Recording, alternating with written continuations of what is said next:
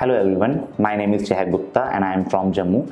I completed my 12th in 2015 and after completing my academics, I have a huge uh, more I have a huge gap more than seven years.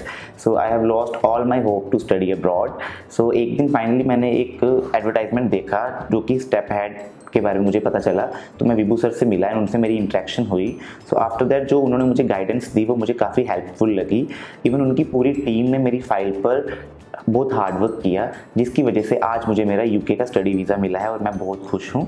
सो मैं सभी students को ये suggest करूँगा कि वो step ahead में visit करें, जिनका कि स्टडी में एक ह्यूज गैप है, या फिर कोई प्रॉपर गाइडेंस चाहता है, वो स्टेप अहेड से कंसल्टेंट करें एंड अपना स्टडी वीज़ा प्राप्त करें।